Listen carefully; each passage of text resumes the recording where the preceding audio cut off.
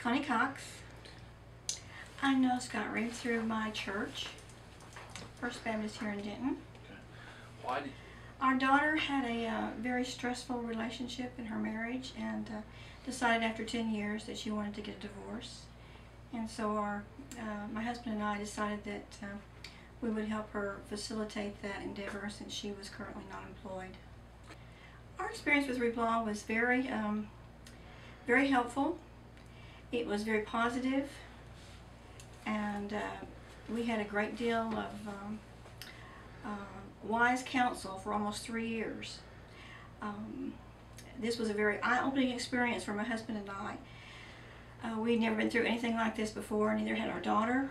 The, uh, the time that we spent uh, making sure that we had all the documentation that was needed on a daily basis, doctor visits and medical visits, um, that was a very stressful time. But um, because we knew that we had a team that was fighting for us, we uh, felt very com- comforted in that. And um, this uh, this was a very con- con- um, a very hostile divorce and uh, contentious divorce, and because of that, um, the children pulled into it at one time, and the Reib firm um, suggested that we have some counselors for our children. That was very very helpful for all of us. And there was another time that uh, the children were not returned on time, and Mr. Reib was uh, in the courtroom the very next day securing their return and the protection for their future. Um, Reib Law not only pulled together a team within their organization, but also outside the organization of doctors and um, teachers and counselors and police officers, all that help to facilitate our goals.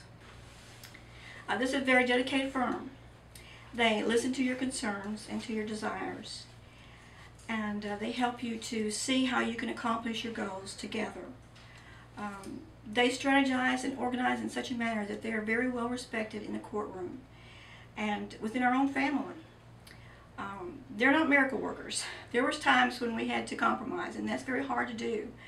And but they showed us why and how we needed to do that.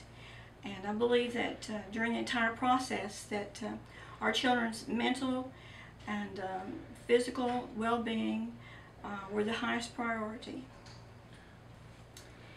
Had we not used ReibLaw or had we changed in midstream, um, I believe we probably wouldn't have accomplished near what we accomplished. And uh, we would have lost a lot of time, probably a lot of money, um, because uh, this was a very contentious divorce and probably harder than most, I would think, I hope. Um, the fact that the team was so um, um, diligent in, in their work ethic and um, they uh, had such a, um, a great understanding of the legal system that that uh, gave us a great deal of encouragement. And I believe, had we not used ReibLaw, that we might have lost the lives of our daughter and our grandchildren.